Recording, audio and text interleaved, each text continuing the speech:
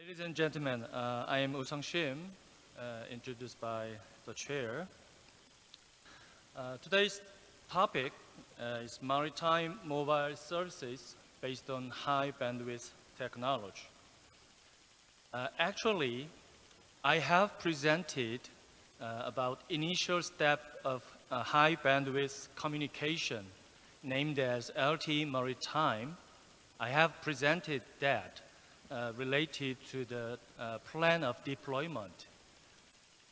And uh, 2020, I also have shown uh, the deployment status of LTE Maritime Network and uh, some verification result of the uh, performance of that system. Now, at Digital at Sea 2021, uh, I'm going to uh, show and present about the strong and concrete need uh, of high bandwidth communication in maritime uh, field. Okay, this is uh, content. I will follow that. First one is maritime mobile service.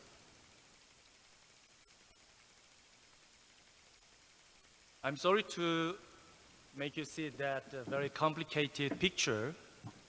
Uh, this picture is uh, Korean uh, frequency allocations uh, regulated by the Korean government.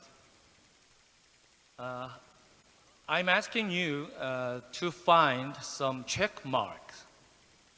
I have at check mark for the, uh, the frequency of maritime mobile services in current situation. You can see that the frequency band from uh, 3 kilohertz to 3000 gigahertz. Where are the checkmark of maritime mobile services? Yes, right. There are only in lower part of the frequencies.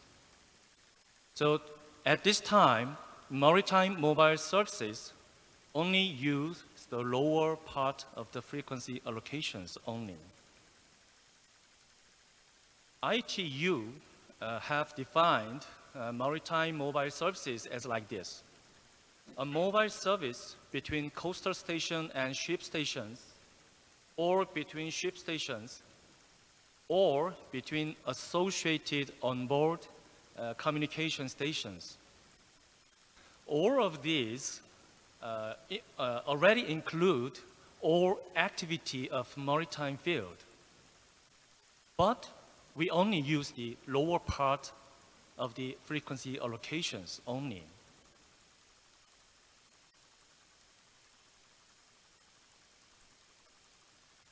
Next one is high bandwidth. I think uh, I need to explain some more in detail about the high bandwidth. Yes, this term, high bandwidth, was widely used uh, in the memory industry, like, uh, you know, that DRAM or DDR-RAM, something like that. So if we have the high frequency, we can get wide bandwidth and very high-speed communication. But high, high frequency cannot propagate long distance. But we have to find some appropriate point between the high frequency and the coverage. That is the uh, technical issues to find high bandwidth communication in maritime mobile services.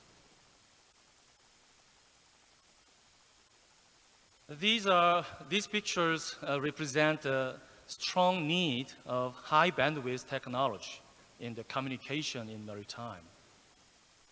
You know, uh, you already know that the e-navigation, uh, many e-navigation services uh, are currently requiring many uh, communication capability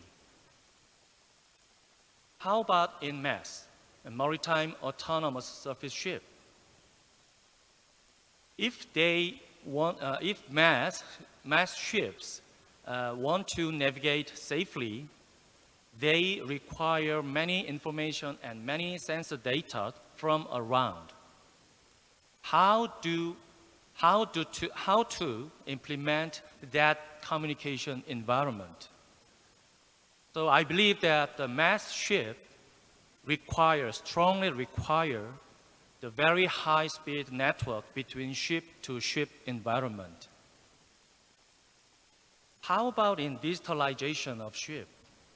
Uh, we have uh, seen um, several presentations about digitalization.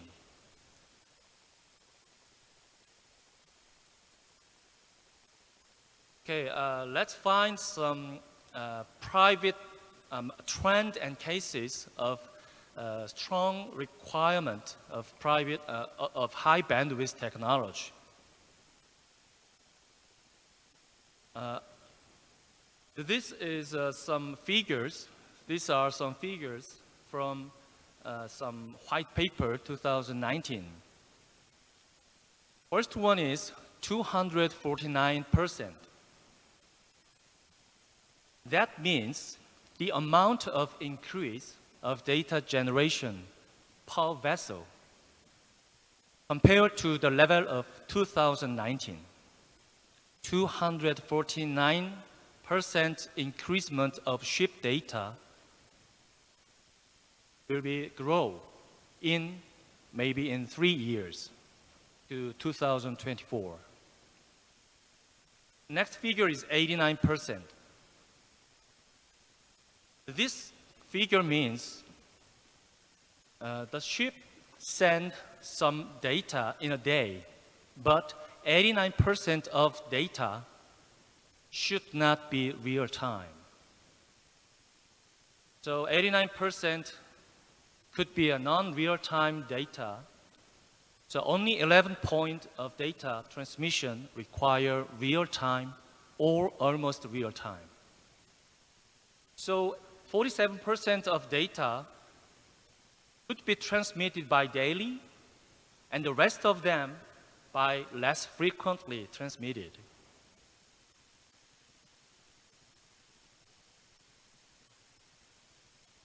The next one is 60%.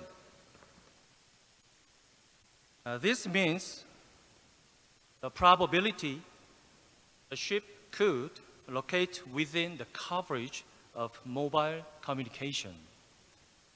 The ship of uh, the 60% of ship is navigating the globally. They must be, they could be or must be in port or coastal waters. That is, many portion, many part of ships are navigating in the vicinity of the land.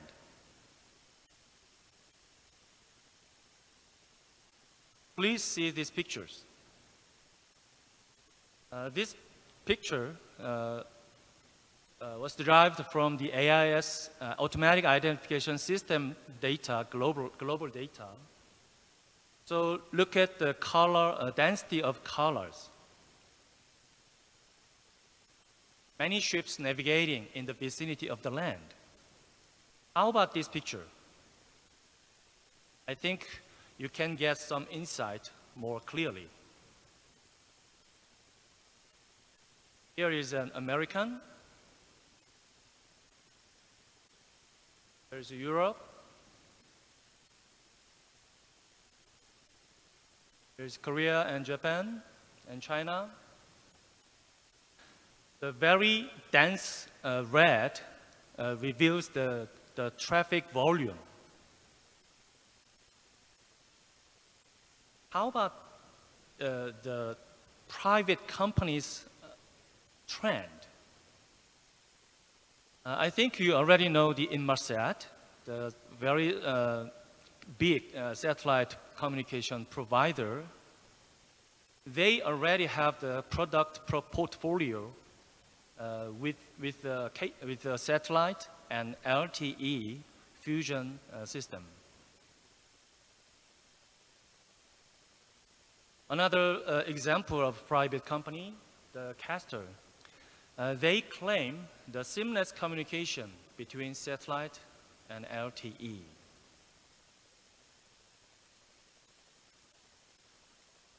And the next one is uh, about the LTE Maritime. I think you're wondering if you uh, can use the LTE service in the maritime. I already have, uh, have presented these pictures maybe in one years ago. But this is a proven case of LTE maritime. This system can provide LTE service up to 100 kilometers from coastline. The left uh, picture shows the RSRP, a reference signal received power. The right one is uh, represent for SINR, a signal to interference plus noise ratio. So whole picture shows the, the successful uh, LTE quality up to 100 kilometers from coastline. So how do we make this successful result? Actually, we have to get, we have to have 500 altitude stations in order to get the line of sight 100 kilometers. But whole Korean coastline do not have enough high altitude mountains. But we can make it with uh, using some antenna modification and using some technical cell planning. In addition to the some uh, know-how of our uh, uh of our company and research institute.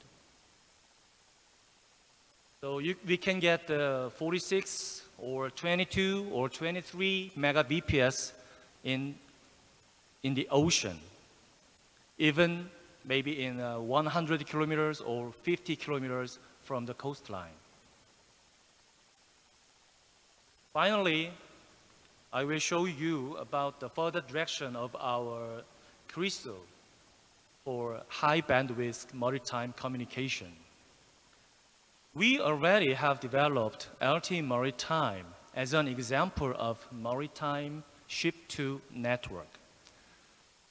Uh, somebody wonder about uh, the terminology ship to network or ship to air, ship to X.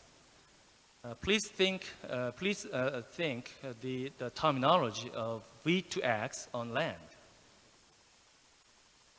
So in maritime situation, a ship have to communicate with the land, but also require the direct communication ship to ship even ship to air, like a drone, even ship to uh, people, or even ship to infrastructure, like H2 navigation. The frequency allocations or communication technology should be uh, developed based on the close cooperation by the uh, cooperation between the uh, international organization related to them. Finally, uh, I would like to conclude my presentation with my epilogue. Uh, whenever I heard smart, this terminology, smart, many people think only almighty things. But I believe smart doesn't have to mean almighty, but appropriate. So this appropriate communication means to provide it seamlessly by appropriate system on required time at required waters. So that is the reason why we develop, we could develop or should develop the high bandwidth communication in maritime field. Thank you for your attention.